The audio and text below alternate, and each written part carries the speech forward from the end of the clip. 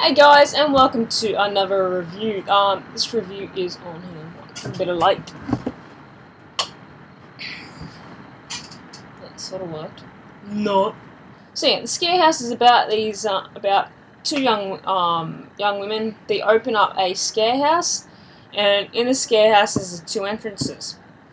There's these one, one for um the sorority, and other one for the general public. So pretty much monitor one people go through normally. Um, monitor 2, you go in, you don't come back. Pretty much what they are planning, they are planning revenge on this, on this, on this sorority. They used to belong to the sorority, but something happened, and pretty much what happened something happened which led them led these two girls to go to jail and they're now I guess it wasn't. I don't think it was exactly jail. I know one was in a correction, a women's correction facility or something, and um. So yeah, now they're out. I'm not. So they're out and they've joined together and they get they take they invited these the sorority to this. So one by one, these girls enter and they're killed for revenge. Um, which you'll find out in the movie. Um, and this film, I gave it a five out of ten. Um, it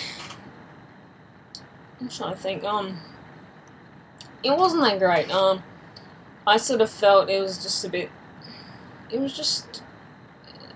It wasn't anything new. It was just more. Yeah, you were sort of just in there. In just, it's hard to explain. I just wasn't really invested in this movie. Um, I mean, the kills were cool. Like really good. Like kills. Like I was disappointed. I don't think they used the dildo in there disappointed in that one because of the had I don't unless I missed that bit. I might have drifted off asleep in that bit because I like I fell asleep and I ended up picking off from where I thought I left off. And well, it was pretty much where I remembered up to. So I don't believe they uses they pretty much get glue and glass and cover a dildo in it, and they don't use it. It's like fuck, that would have hurt.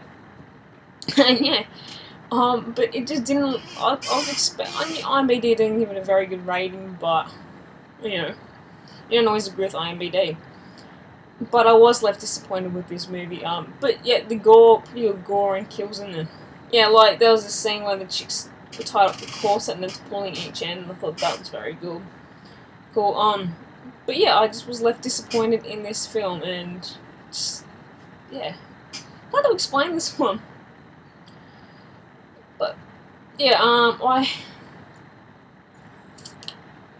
this one is sort of a um, I would recommend it. Um, but if you've got a group of friends over and you're sort of having one of those horror nights, it's sort of one where you can laugh at, and yeah, it's not to be taken really that it's. It's just a light-hearted horror movie. I guess it's got the gore in there, but it's nothing too. Um, sorry, just crack my fingers. It's like dislocated. It's nothing too new. It's just generic. Generic horror film. They'll be good if you got a bunch of mates over having a couple of drinks. You throw on this. It's sort of one of those films. So yeah. Don't go paying big money for it though.